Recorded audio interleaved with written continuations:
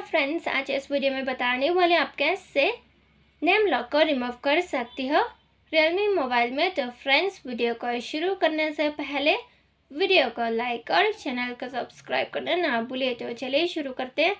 सबसे पहले आपको सेटिंग में मूव होनी है। सेटिंग में मूव होने के बाद आपको ऐसे स्क्रॉल करके आनी है।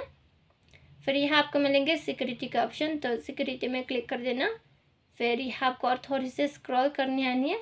फिर यहाँ आपको मिलेंगे स्क्रीन लॉक तो स्क्रीन लॉक में क्लिक करना है। फिर यहाँ जो भी आपने नेम लॉक सेट किया ना, वो आपको लिख के कंफर्म करने ठीक है? स्क्रीन लॉक का। फिर ये नेक्स्ट के ऑप्शन मिलेंगे तो नेक्स्ट में क्लिक करना।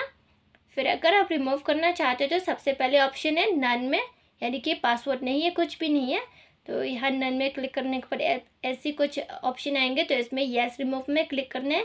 फिर यहाँ भी नेम लॉक रिमूव हो जाएँगे। आप ऐसे रिमूव कर सकते हो ओके तो फ्रेंड्स अगर आपको ये वीडियो पसंद आए तो वीडियो को लाइक और चैनल का सब्सक्राइब करना ना भूलिए। Friends thanks for watching bye